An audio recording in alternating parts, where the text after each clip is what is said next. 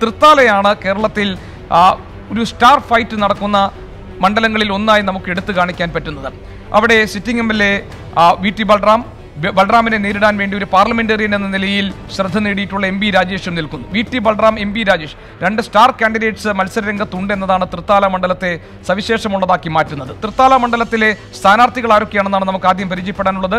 ഇടതുമുന്നണി സ്ഥാനാർത്ഥി M B രാജേഷാണ് ഇക്കുറി തൃത്താലയിൽ വരുന്നത്. തൃത്താലയിൽ രണ്ടായിരത്തി പതിനൊന്ന് മുതൽ രണ്ട് വട്ടം അവിടെ എം എൽ എ ആയി മാറിയ വി ടി ബൽറാം അതുവരെ ഇടത് കോട്ടയായിരുന്ന തൃത്താലയിൽ രണ്ടായിരത്തി പതിനൊന്നിലാണ് വി ടി ബൽറാം തൃത്താല പിടിക്കുന്നത്. വി ടി ബൽറാമിന്റെ ഉറച്ച കോട്ടയായി അല്ലെങ്കിൽ യു ഡി എഫിന്റെ ഒരു കോട്ടയായി ഇപ്പോൾ തൃത്താല മാറിയിട്ടുണ്ട് രണ്ട് തെരഞ്ഞെടുപ്പിന് ശേഷം. പക്ഷേ അവിടെ U D F V T Balram sitting M L A തന്നെ മത്സരരംഗത്തിറക്കുന്നു. വി ടി ബൽറാമിനെ നേരിടാൻ എം ബി രാജേഷ് ഉണ്ട്. അവിടെ ശങ്കുട്ടി ദാസ് ശങ്കുട്ടി ദാസ് ആ, ആ, ഈ യുവത്വം മാറ്റുരയ്ക്കുന്ന ഒരു മണ്ഡലം എന്ന നിലയിൽ തൃത്താല ശ്രദ്ധേയമാവുകയാണ്. ശങ്കുട്ടിദാസ് ബി ജെ പിയെ സംബന്ധിച്ച് അവരുടെ സോഷ്യൽ മീഡിയയിലെല്ലാം അത്തരം കാര്യങ്ങളെല്ലാം ഹാൻഡിൽ ചെയ്തിട്ടുള്ള ഒരു യുവാവാണ്. ഇവർ മൂന്ന് പേരും ശക്തമായ പോരാട്ടം കാഴ്ചവെക്കാൻ വേണ്ടി തൃത്താല മണ്ഡലത്തിലുണ്ട്. നമുക്ക് രണ്ടായിരത്തി പതിനൊന്നിലെ നിയമസഭാ തെരഞ്ഞെടുപ്പിലെയും രണ്ടായിരത്തി പതിനാറിലെ നിയമസഭാ തെരഞ്ഞെടുപ്പിലും അതിനുശേഷം രണ്ടായിരത്തി പത്തൊൻപതിൽ വന്ന ലോക്സഭാ തെരഞ്ഞെടുപ്പിലെയും കണക്കുകൾ കൂടി പരിശോധിച്ച ശേഷം തൃത്താല മണ്ഡലത്തിലെ പൊതു സാഹചര്യം എന്താണ് എന്ന് നോക്കാം. ആദ്യം വേഗം ആ കണക്കുകളിലേക്കാണ്. രണ്ടായിരത്തി പതിനൊന്നിൽ രണ്ടായിരത്തി പതിനൊന്നിന് തൊട്ട് മുൻപ് വരെ ഇടത് കോട്ടയെന്ന് വിശേഷിപ്പിക്കപ്പെട്ട മണ്ഡലമായിരുന്നു തൃത്താല. പക്ഷേ രണ്ടായിരത്തി പതിനൊന്നിൽ അട്ടിമറി ജയം നേടി വി ടി ബൽറാം തൃത്താല മണ്ഡലം പിടിച്ചെടുക്കുകയായിരുന്നു. അങ്ങനെയാണ് യു ഡി എഫിന് തൃത്താല മണ്ഡലത്തിൽ വേരോട്ടം ഉണ്ടാകുന്നത് ഇടതുമുന്നണിക്ക് അന്ന് കിട്ടിയ വോട്ട് അൻപത്തിനാലായിരത്തി അറുന്നൂറ്റി അൻപത്തി ഏഴായിരുന്നു അന്ന് യു ഡി എഫിന് കിട്ടിയ വോട്ട് ഈ നീലവരയിൽ നമുക്ക് കാണാം. അൻപത്തി ഏഴായിരത്തി എണ്ണൂറ്റി നാൽപ്പത്തി എട്ടാണ് വി ടി ബൽറാമായിരുന്നു യു ഡി എഫിന്റെ സ്ഥാനാർത്ഥി. തൃത്താലയിൽ യു ഡി എഫ് പിടിച്ചെടുക്കുന്നത് വി ടി ബൽറാമിലൂടെയാണ് രണ്ടായിരത്തി പതിനൊന്നിലെ നിയമസഭാ തെരഞ്ഞെടുപ്പിൽ. അവിടെ എൻ ഡി എയുടെ പ്രകടനം വളരെ കുറവാണ്. അയ്യായിരത്തി എണ്ണൂറ്റി തൊണ്ണൂറ്റൊൻപത് വോട്ടാണ് രണ്ടായിരത്തി പതിനൊന്നിൽ നേടിയത്. യു ഡി എഫിന് കിട്ടിയ ഭൂരിപക്ഷം അതായത് വി ടി ബൽറാം നേടിയ ഭൂരിപക്ഷം മൂവായിരത്തി ഒരുന്നൂറ്റി തൊണ്ണൂറ്റിയേഴ് വോട്ടാണ്. രണ്ടായിരത്തി പതിനാറിലെ നിയമസഭാ തെരഞ്ഞെടുപ്പിലെ കണക്കുകൾ നോക്കാം. അവിടെ എൽ ഡി എഫിന് കിട്ടിയ വോട്ട് അൻപത്തി അയ്യായിരത്തി തൊള്ളായിരത്തി അൻപത്തി എട്ടാണ് അവിടെയും വി ടി ബൽറാം രണ്ടാം വട്ടം ജയിച്ചു കയറി. അവിടെ യു ഡി എഫിന്റെ വോട്ട് അറുപത്തി ആറായിരത്തി അഞ്ഞൂറ്റി അഞ്ചാണ് എൻ ഡി എയും നില മെച്ചപ്പെടുത്തി ആ തെരഞ്ഞെടുപ്പിൽ പതിനാലായിരത്തി അഞ്ഞൂറ്റി പത്തായി എൻ ഡി എയുടെ വോട്ടുകൾ ഉയർന്നു. വി ടി ബൽറാമിന്റെ ഭൂരിപക്ഷം പതിനായിരത്തി അഞ്ഞൂറ്റി നാൽപ്പത്തി ഏഴായി ഉയരുകയും ചെയ്തു. രണ്ടായിരത്തി പത്തൊൻപതിലെ ലോക്സഭാ തെരഞ്ഞെടുപ്പിൽ യു ഡി എഫിന്റെ വോട്ട് അൻപത്തി എണ്ണായിരത്തി നാനൂറ്റി തൊണ്ണൂറ്റിയാറാണ് എൽ ഡി എഫിന് അത് അൻപതിനായിരത്തി തൊണ്ണൂറ്റി രണ്ടാണ് യു ഡി എഫ് ഭൂരിപക്ഷം എണ്ണായിരത്തി നാനൂറ്റി നാലാണ് എൻ ഡി എയുടെ ഇരുപത്തി ഒരായിരത്തി എണ്ണൂറ്റി മുപ്പത്തി എട്ടാണ് രണ്ടായിരത്തി ഇരുപതിലെ തദ്ദേശ തെരഞ്ഞെടുപ്പ് സ്ഥാപനങ്ങളിലേക്ക് നടന്ന തിരഞ്ഞെടുപ്പിലും എൽ ഡി എഫ് അറുപത്തി ആറായിരത്തി എണ്ണൂറ്റി എഴുപത്തി മൂന്ന് വോട്ട് നേടി അവിടെ നില മെച്ചപ്പെടുത്തി. തൃത്താലയിൽ യു ഡി ഇടതുമുന്നണിക്ക് ഒരു മുന്നേറ്റം ഉണ്ടായത് കഴിഞ്ഞ ലോക്കൽ ബോഡി ഇലക്ഷനിലാണെന്ന് നമുക്ക് മനസ്സിലാവും. അതിനുശേഷം യു ഡി എഫിന് അൻപത്തി ഒൻപതിനായിരത്തി തൊള്ളായിരത്തി തൊണ്ണൂറ്റിയൊന്നും എൻ ഡി എക്ക് പതിനെണ്ണായിരത്തി തൊള്ളായിരത്തി പതിനെട്ടും ഇടതുമുന്നണിയുടെ ഭൂരിപക്ഷം ആറായിരത്തി എണ്ണൂറ്റി എൺപത്തിരണ്ടുമായി. കടുത്ത രാഷ്ട്രീയ പോരാട്ടം നടക്കുന്ന മണ്ഡലം എന്നതാണ് തൃത്താലയെ വ്യത്യസ്തമാക്കി നിർത്തുന്നത്. വികസനമടക്കമുള്ള വിഷയങ്ങൾ സജീവമായി ചർച്ച ചെയ്യുന്ന മണ്ഡലം എന്നതും തൃത്താല മണ്ഡലത്തെ വേറിട്ട മണ്ഡലമാക്കി നിർത്തുന്നുണ്ട്. എസ്. വിജയകുമാറുണ്ട് നമുക്കൊപ്പം. വിജയകുമാർ എനിക്ക് തൃത്താല മണ്ഡലത്തെ രാഷ്ട്രീയ സ്ഥിതിഗതികൾ നമ്മൾ പരിശോധിക്കുമ്പോൾ അവിടെ ഏറ്റവും പ്രാധാന്യമുള്ളത് വി. ടി. ബൽറാമും എം. പി രാജേഷും നേർക്കുനേർ വരുന്നു എന്നുള്ളതാണ്. വി. ടി. ബൽറാമിനെ സംബന്ധിച്ച് നമുക്കറിയാം ഇടത് കോട്ടയായിരുന്ന തൃത്താലയെ യു. ഡി. എഫിലേക്ക് അടുപ്പിച്ചത് രണ്ടായിരത്തി പതിനൊന്നിൽ വി. ടി. അതിനുശേഷം ഈ രണ്ട് ടേമിൽ അവിടെ നടത്തിയിട്ടുള്ള വികസന പ്രവർത്തനങ്ങളിൽ തന്നെയായിരിക്കും സ്വാഭാവികമായും വി ടി ബൽറാം ഇത്തവണയും തെരഞ്ഞെടുപ്പ് ഘട്ടത്തിൽ ഊന്നാൻ പോകുന്ന പ്രധാനപ്പെട്ട സംഭവം. പക്ഷേ എം പി രാജേഷിനെ പോലെ ഒരു പാർലമെന്റേറിയൻ എന്ന നിലയിൽ പേരെടുത്ത ഒരാൾ ഒരു കനത്ത വെല്ലുവിളിയായി വി ടി ബൽറാമിന് മുന്നിൽ ഉണ്ട്. ശങ്കുട്ടി ദാസിന് ബി ജെ പിയും അവിടെ വോട്ട് വിഹിതം വർദ്ധിപ്പിച്ചിട്ടുണ്ട്. അതുകൊണ്ട് നമുക്ക് ആരെയും കുറച്ച് കാണാൻ കഴിയില്ല എന്നാണ് തൃത്താലയിലെ സവിശേഷത. എനിക്ക് തോന്നുന്നു സമൂഹ മാധ്യമങ്ങളിലൊക്കെ ഈ വി ടി ബൽറാം ആ, എം പി രാജേഷ് ഫൈറ്റ് വലിയ ചർച്ചയായി മാറിയിട്ടുണ്ട്. എങ്ങനെ വേണം തൃത്താല മണ്ഡലത്തിലെ നിലവിലെ രാഷ്ട്രീയ സാഹചര്യങ്ങളെ നമ്മൾ പരിശോധിക്കേണ്ടത്? ഗോപി എനിക്ക് തോന്നുന്നത് സംസ്ഥാനത്ത് ഏറ്റവും കടുത്ത രാഷ്ട്രീയ പോരാട്ടം നടക്കുന്ന മണ്ഡലമാണ് തൃത്താല എന്നത് തന്നെയാണ്. കാരണം അക്ഷരാർത്ഥത്തിൽ അവിടെ ഒരുപക്ഷെ കേരളത്തിന്റെ ഒരു പരിച്ഛേദം നമുക്ക് ആ മണ്ഡലത്തിൽ കാണാൻ കഴിയും. അത്രത്തോളം തീവ്രമാണ് അവിടുത്തെ രാഷ്ട്രീയ പോരാട്ടം. സംസ്ഥാനത്ത് ചർച്ചയാകുക മുഴുവൻ വിഷയങ്ങളും പരിഗണിക്കപ്പെടുന്ന ചർച്ച ചെയ്യുന്ന അതൊക്കെ ജനങ്ങളിലേക്ക് എത്തുന്ന ഒരു പ്രധാനപ്പെട്ട മണ്ഡലമായി തൃത്താല ഇതിനോടകം തന്നെ മാറിയിട്ടുണ്ട്. അവിടെ എം പി രാജേഷിന്റെ സ്ഥാനാർത്ഥിത്വത്തോടെ സവിശേഷമായ ഒരു ശ്രദ്ധ ആ മണ്ഡലത്തിന് കൈവരികയും ചെയ്തിട്ടുണ്ട്. ഒരുപക്ഷെ വി ടി ബൽറാം ഒരു ഇടതു കോട്ടയിൽ നേടിയ ജയം അത് അതിനുശേഷം ഉണ്ടായ രാഷ്ട്രീയ സാഹചര്യം അതൊക്കെ നിലനിൽക്കെ തന്നെ എം പി രാജേഷ് അവിടെ മത്സരിക്കാൻ എത്തുമ്പോൾ സി പി എമ്മിന്റെ സംഘടനാ സംവിധാനം പൂർണമായും ആ മണ്ഡലത്തിൽ കേന്ദ്രീകരിക്കുന്നുണ്ട് അല്ലെങ്കിൽ ആ മണ്ഡലത്തിൽ ശ്രദ്ധിക്കുന്നുണ്ട്.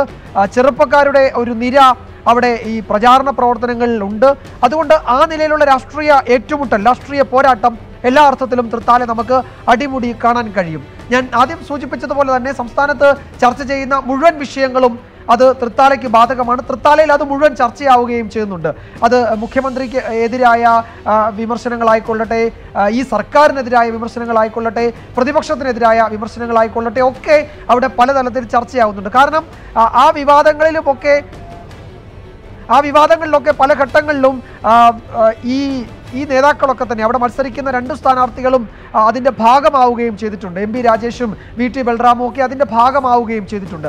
സ്വാഭാവികമായും അത്തരം മുഴുവൻ ചർച്ചകളും ഈ തൃത്താലയിലെ ഈ രാഷ്ട്രീയ പോരാട്ടത്തെ കൂടുതൽ കടുപ്പിക്കുന്നുണ്ട് ശരി ഏതായാലും വിജയകുമാർ ഈ പറഞ്ഞതുപോലെ തന്നെ അവിടുത്തെ ഒരു ഗ്രൗണ്ട് റിയാലിറ്റി എന്താണെന്ന് നമുക്ക് ശ്രീ ശിവകുമാരൻ അതിന്റെ വിശദാംശങ്ങൾ നൽകാനുണ്ട്. ഞാൻ സുജയ പാർവതിയെ കൂടി ക്ഷണിക്കുന്നു ഈ ഷോയിലേക്ക് Sujaya welcome hi hello Sujaya Thrithala മണ്ഡലത്തെക്കുറിച്ച് നമ്മൾ സംസാരിക്കും. എനിക്ക് തോന്നുന്നു ഒരുപക്ഷെ ചെറുപ്പക്കാർ വളരെയധികം ശ്രദ്ധിക്കുന്ന ഒരു പോരാട്ടമാണ് തൃത്താലയിൽ. കാരണം സൈബർ ഇടത്തിൽ വളരെ വലിയ പോരാട്ടം ഇതിനോടകം തന്നെ തുടങ്ങിക്കഴിഞ്ഞു. വി ടി ബൽറാം ആകട്ടെ പണ്ട് എ കെ ജിക്കെതിരെ നടത്തിയിട്ടുള്ള പരാമർശവും ഖേദപ്രകടനവും ഒക്കെ വലിയ ചർച്ചയായതാണ്. അതുകൊണ്ട് എം പി രാജേഷിന് അവിടെ ജയിപ്പിക്കുക എന്നുള്ളത് ഈ ഇടതുമുന്നണിയെ സംബന്ധിച്ച് ഒരു അഭിമാന പ്രശ്നമായി മാറുന്നുണ്ട്. എങ്ങനെയാണ് എന്തൊക്കെയായിരിക്കും പ്രധാനമായും വോട്ടർമാരുടെ മനസ്സിലുണ്ടാവുക തൃത്താല ഗോപികൃഷ്ണൻ സൂചിപ്പിച്ചതുപോലെ തന്നെ സൈബർ ഇടത്തിൽ ഇപ്പോൾ ഏറ്റവും ചർച്ച ചെയ്യപ്പെടുന്നത് ഈ തൃത്താലയിലെ പോരാട്ടമാണ്. കാരണം അവിടെ വോട്ടില്ലാത്തവരും ലൈക്ക് ഇടുന്നുണ്ട് കമന്റ് അടിക്കുന്നുണ്ട്. അതാണ് ഇപ്പോൾ സൈബർ ഇടത്തിൽ നമ്മൾ കണ്ടുകൊണ്ടിരിക്കുന്നത്. ഈ മൂന്ന് സ്ഥാനാർത്ഥികളും സൈബർ ഇടത്തിൽ വളരെ സജീവമായവരായതുകൊണ്ട് തന്നെ എം പി രാജേഷിന്റെ ആ ഒരു പ്രൊമോ വീഡിയോ ഒക്കെ കണ്ടിട്ടുണ്ടാവുന്നതാണ് ലൂസിഫറാണോ. ലൂസിഫർ ആണോ മംഗലശ്ശേരി നീലകണ്ഠനാണോ എന്നൊക്കെ നമ്മളൊന്ന് ചിന്തിച്ചു പോകുന്ന അത്തരം ഒരു മാസ് എൻട്രി. അതുപോലെ തന്നെ വി ടി ബൽറാം വളരെ ശക്തമായി ആ മണ്ഡലത്തിൽ നിലയുറപ്പിച്ച സിറ്റിംഗ് എം എൽ എ ആണ്. ശങ്കുറ്റി ദാസ് ആവട്ടെ ഇതുപോലെ ഇവരെ രണ്ടുപേരെയും എതിർക്കുന്ന ഒരാളാണ്. സൈബർ ഇടത്തിൽ ഒരുപാട് നിശിതമായി വിമർശിച്ചൊക്കെ എഴുതുന്ന ആളാണ്. അപ്പോൾ ഈ മൂന്ന് പേരും കൂടി നേർക്കുന്നവർ വരുമ്പോൾ അവിടെ എന്താകും? അവിടുത്തെ പോരാട്ടം എത്രത്തോളം പൊടിപാറും? അതൊക്കെ കൊണ്ടാണ് തൃത്താല മണ്ഡലത്തിലേക്ക് കൂടുതലായി ഈ ഒരു യുവ വോട്ടർമാർ നമുക്ക് വളരെ പെട്ടെന്ന് അവിടുത്തെ വോട്ടർമാർ എന്താണ് ചിന്തിക്കുന്നത് നോക്കിയാലോ. വോട്ടർമാരുടെ പ്രതികരണം. വോട്ടർമാർ എങ്ങനെ കാണുന്നു തൃത്താല മണ്ഡലത്തെ? നമുക്ക് നോക്കാം. തൃത്താല ടൈറ്റ് മത്സരം നടക്കുകയാണ്. കടുത്ത പോരാട്ടമാണ്. സംസ്ഥാനം തന്നെ ഉറ്റുനോക്കുന്ന ഒരു മണ്ഡലമായിട്ട് തൃത്താല മാറിയിട്ടുണ്ട്. ആര് ജയിക്കും ഞങ്ങൾ പ്രതീക്ഷിക്കുന്നത് തൃത്താലക്കാർ പണം കയ്യിൽ നിറയെ തള്ളാർക്കോ വയസ്സായവർക്കോ അഭിവൃദ്ധി ഇല്ലാത്തവർക്കോ കിട്ടണമെങ്കിൽ പിണറായി വിജയൻ തന്നെ വരണം. കോൺഗ്രസ് അധികാരത്തിൽ വരണം. കോൺഗ്രസ് അധികാരത്തിൽ വന്നു കഴിഞ്ഞാൽ പെൻഷൻ മൂവായിരം ആക്കുന്ന പറഞ്ഞിരിക്കുന്നത്. ശക്തമായ മത്സരമാണ്. ആര് ജയിക്കുന്ന വിചാരിക്കുന്നത് ബൽറാം. ഇവിടെ എം പി രാജേഷ് തന്നെ. തൃത്താല അതാണ് ഇന്ന് ഈ പ്രാവശ്യം നല്ലൊരു കടുപ്പുള്ള മത്സരമായി മാറും. പിന്നെ ജനങ്ങളാണല്ലോ എല്ലാം തീരുമാനിക്കുന്നത്. ജയിക്കും തോന്നുന്നില്ല. ഇല്ല അങ്ങനെ ആര് നല്ലവർ ജയിക്കട്ടെ. മാറ്റങ്ങൾ വരുന്നവർ ജയിക്കട്ടെ. ഇപ്പോൾ പത്ത് വർഷമായിട്ട് വി ടി ബലറാമാണ് ഇവിടുത്തെ എം എൽ എ. അപ്പോൾ ഒരു ഒരു പത്ത് മുപ്പത് വർഷങ്ങൾക്ക് ശേഷം ഒരു എം എൽ എ എന്താണെന്ന് ഞങ്ങൾക്ക് മനസ്സിലായത് ഈ കാലയളവിലാണ് ഇവിടെ എം പി രാജേഷ് ജയിക്കും എന്തായാലും സംശയം. അതെ ഇടതുപക്ഷത്തിന്റെ വർഷത്തിന്റെ അഞ്ചു വർഷത്തെ ഭരണം വളരെയധികം നല്ലൊരു ഭരണമാണ് കാഴ്ചവെച്ചുള്ളത് അതിന്റെ ഭാഗമായിട്ട് എം പി രാജേഷ് തൃത്താലി പ്രാവശ്യം വരും. വലിയ പോരാട്ടം നടക്കുന്നത് എം പി രാജേഷും വീട്ടിൽ ബലറാമൻ ബലറാമും തമ്മിൽ. എങ്ങനെ ആരാ ജയിക്കുക ആകാന്ന് നമുക്ക് പറയാൻ പറ്റില്ല എങ്ങനെയുണ്ട് സംസ്ഥാന ഗവൺമെന്റിന്റെ പ്രവർത്തനവും അതുപോലെ തന്നെ വി ടി ബലറാമിന്റെ പ്രവർത്തനം വിലയിരുത്തുമ്പോൾ ആർക്കാർക്കും രണ്ടു കൂട്ടരുടെ പ്രവർത്തനം തിരക്കില്ലാത്തതാണ്. എങ്ങനെയുണ്ട്? ആര് ജയിക്കും? ആര് ജയിക്കും? രാജേഷ് ജയിക്കും. ബൽറാം ജയിക്കാനുള്ള ചാൻസ് എന്തെങ്കിലും ഇങ്ങനെ ഒറ്റടിക്ക് പറയാം ഒറ്റടിക്ക് പറയാൻ കാരണം ഇവിടെ പത്ത് കൊല്ലായിട്ട് ഇപ്പോൾ നിങ്ങളുടെ മനസ്സിലില്ലേ ആര് ജയിക്കുന്നു? ബലറാമല്ലേ അത് പത്ത് വർഷത്തെ ഇവിടുത്തെ വികസനം ഇടപെടൽ. അത് തന്നെയാണ്. ബൽറാം ജയിക്കുന്നു? ബൽറാം ജയിക്കും. സുജയ എനിക്കൊന്ന് ഫൈറ്റ് സ്ട്രോങ് ആയിരിക്കും എന്നുള്ളത് ഈ ഇവരുടെ അറിയാം ശ്രീജി ശ്രീകുമാറുണ്ട്. ശ്രീജിത്തിലേക്ക് പോകാം ഏഹ് ശ്രീ ശ്രീകുമാരൻ രണ്ടായിരത്തി പതിനൊന്നിൽ സി പി ഐ എമ്മിനുണ്ടായ ഒരു അലസത മുതലെടുത്തുകൊണ്ടാണ് വി ടി ബൽറാം ആദ്യം അവിടെ ജയിക്കുന്നത്. പക്ഷേ രണ്ടായിരത്തി പതിനാറിൽ ഭൂരിപക്ഷം ഉയർത്തിക്കൊണ്ട് താൻ കരുത്തനാണ് വീട്ടിയാണ് എന്നൊക്കെ തെളിയിച്ചു നിൽക്കുന്ന ബൽറാമിന്റെ അടുത്തേക്ക് രാജേഷ് കൂടി വരുന്നു. ഇപ്പുറത്ത് ശങ്കുറ്റി ദാസും ഉണ്ട് ഇത്തവണ പോരാട്ടം പൊടി പാറുകയാണോ അവിടെ? സുജയ ആദ്യം സൂചിപ്പിച്ചതാണ് ശരി രണ്ടായിരത്തി പതിനൊന്നിൽ സി പി എമ്മിന് വലിയൊരു അശ്രദ്ധ തന്നെയായിരുന്നു ഉണ്ടായത് അല്ലെങ്കിൽ അവരൊരു അലസമായ ഒരു അവസ്ഥയിൽ തന്നെയായിരുന്നു ഉണ്ടായിരുന്നത്. എന്തായാലും ജയിക്കും. ശക്തമായ ഒരു മണ്ഡലമാണ് ടി പി കുഞ്ഞിനെയും വി കെ ചന്ദ്- ചന്ദ്രനും അടക്കമുള്ള അവരുടെ മുൻ എം എൽ എമാർ വളരെ അനായാസം ജയിച്ചു കയറിയ ഒരു സ്ഥലമാണ്. അതുകൊണ്ട് സ്വാഭാവികമായി അവർ ജയിക്കുമെന്ന് തന്നെയായിരുന്നു അവരുടെ പ്രതീക്ഷ. രണ്ടായിരത്തി പതിനൊന്നിൽ ആ അലസത തന്നെയാണ് അവർ മുതലെടുത്തത്. മമ്മിക്കുട്ടിയായിരുന്നു മത്സരിച്ച പി മമ്മിക്കുട്ടിയായിരുന്നു. ഇപ്പോഴത്തെ ഷൊർണൂർ മണ്ഡലത്തിലെ സ്ഥാനാർത്ഥിയായ മമ്മിക്കുട്ടിയായിരുന്നു മത്സരിച്ചത്. പക്ഷേ അന്ന് വളരെ അപ്രതീക്ഷിതമായി കയറി നിൽക്കുന്ന. വരുന്ന കയറി വരുന്ന ഒരു കാഴ്ചയാണ് കണ്ടത്.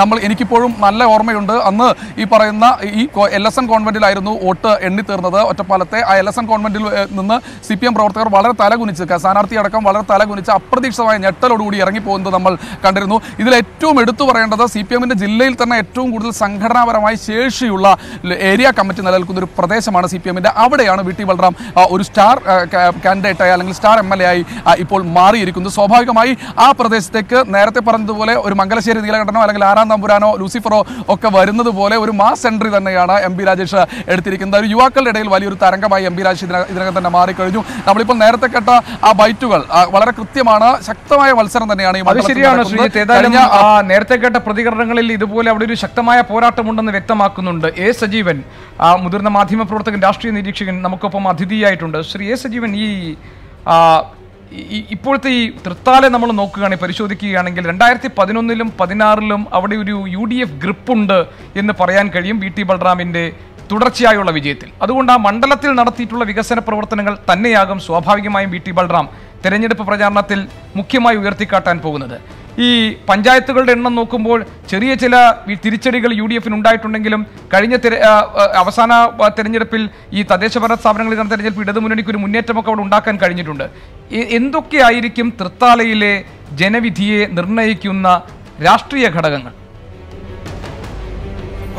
ഏറ്റവും പ്രധാനപ്പെട്ട കാര്യം U D F grip L D F grip എന്നുള്ളതല്ല തൃത്താലയുടെ ഇപ്പോഴത്തെ അവസ്ഥ. ഈ തവണ പ്രത്യേകിച്ച്. ഇവിടെ സ്ഥാനാർത്ഥികളാണ്. കഴിഞ്ഞ തവണ തന്നെ രണ്ടായിരത്തി പതിനൊന്നിലും രണ്ടായിരത്തി പതിനാറിലും വി ടി ബൽറാം ജയിച്ചു കയറിയത് ആ യു ഡി എഫിന് വലിയ ശക്തി ഉണ്ടായത് കൊണ്ടൊന്നുമില്ല അത് നേരത്തെ തന്നെ പറഞ്ഞ പോലെ എൽ ഡി എഫ് നേതാക്കന്മാരെയും സി പി എം നേതാക്കന്മാരെ പ്രത്യേകിച്ചും സ്ഥാനാർത്ഥി ഉൾപ്പെടെയുള്ള ആളുകളെ ഞെട്ടിച്ചുകൊണ്ടാണ് ബൽറാമിന്റെ വിജയം ഉണ്ടാകുന്നത് അതിനർത്ഥം ബൽറാം ഒരു കാൻഡിഡേറ്റ് എന്ന നിലയിൽ അതിശക്തനാണ് ജനങ്ങളുടെ മനസ്സിലേക്ക് കയറി ഇറങ്ങുന്ന ആളായിരുന്നു. അതാണ് രണ്ടായിരത്തി പതിനൊന്നിലും രണ്ടായിരത്തി പതിനാറിലും കണ്ടത്. ഇപ്പോഴത്തെ പ്രശ്നം ഇത്തവണ എന്ന് പറയുന്നത് ഈ രണ്ട് പേരും ശങ്കുട്ടിദാസ് ഉൾപ്പെടെ മൂന്ന് പേരെയും പറയാം. പക്ഷെ രണ്ട് പ്രത്യേകിച്ച് ജയം സാധ്യത എന്തായാലും ബി ജെ പിക്ക് ഞാനിവിടെ കാണുന്നില്ല. ഇവിടെ ഈ രണ്ട് പേര് രാജേഷും ബൽറാമും ഒരേപോലെ ജനങ്ങളുടെ മനസ്സിലേക്ക് ഇറങ്ങിച്ചെല്ലാൻ പറ്റുന്ന ശരിയായ സ്ഥാനാർത്ഥി എന്താണ് എന്ന് ചോദിച്ചു കഴിഞ്ഞാൽ ജനപ്രതിനിധി എന്താണെന്ന് ചോദിച്ചു കഴിഞ്ഞാൽ അങ്ങനെ ഉള്ള രണ്ടു പേരാണ്. അവർ തമ്മിലുള്ള പോരാട്ടം ആയതുകൊണ്ടാണ് ജനങ്ങളുടെ പ്രതികരണം നമ്മൾ കണ്ടല്ലോ. അവിടെയൊക്കെ ജനങ്ങൾ പറയുന്നത് വളരെ കൃത്യമാണ്. അവർക്ക് തന്നെ കൺഫ്യൂഷൻ ഉണ്ട്. അവർ രാഷ്ട്രീയം കൂടി ചേർത്താണ് സ്ഥാനാർത്ഥി ആ ജയിക്കുന്ന ആളുടെ പേര് പറയുന്നത്. പക്ഷെ അപ്പോൾ പോലും ഇത് ഇതിൽ വളരെ കൃത്യമായി ഈ രണ്ട് സ്ഥാനാർത്ഥികൾ തമ്മിലുള്ള പോരാട്ടത്തിൽ മുന്നണിയോ മുന്നണികളോ അല്ലെങ്കിൽ പാർട്ടികളോ അല്ല അതിനേക്കാൾ അല്ലെങ്കിൽ വിഷയങ്ങളല്ല അത് ബാക്കിയൊക്കെ ഘടകങ്ങളൊക്കെ ഉണ്ടായേക്കാം. പക്ഷേ സ്ഥാനാർത്ഥികളുടെ വ്യക്തിപ്രഭാവമായിരിക്കും ഈ തെരഞ്ഞെടുപ്പിൽ ജനവിധിയെ നിർണയിക്കാൻ പോകുന്നതെന്നാണ് താങ്കൾ നിരീക്ഷിക്കുന്നത് അല്ലേ? തീർച്ചയായും തീർച്ചയായും. അതാണ്. അതുകൊണ്ട് മറ്റുള്ള മണ്ഡലങ്ങളിൽ വ്യത്യസ്തമായിട്ട് ഈ രണ്ട് സ്ഥാനാർത്ഥികൾ തമ്മിൽ ഏറ്റുമുട്ടലിൽ ആര് ജയിക്കും എന്ന് വെച്ചാൽ ഒരു ഒരു നിമിഷം നമ്മളൊരു കൺഫ്യൂഷൻ ഉണ്ടാകും. എന്തായാലും ഇത്തരത്തിലുള്ള ഒരു കൺഫ്യൂഷൻ വോട്ടർമാർക്കിടയിലും ഉണ്ടാകാനായുള്ള ഒരു സാധ്യതയുണ്ട്. കാരണം രണ്ടുപേരും യുവാക്കൾ വളരെ ചാർജ്ഡ് ആയിട്ട് സംസാരിക്കുന്ന ആളുകളാണ്. അപ്പോൾ ആരെ വരിക്കും തൃത്താല എന്നറിയാൻ നമുക്ക് എന്തായാലും വോട്ടെണ്ണുന്നവരെ കാത്തിരുന്നേ പറ്റൂ.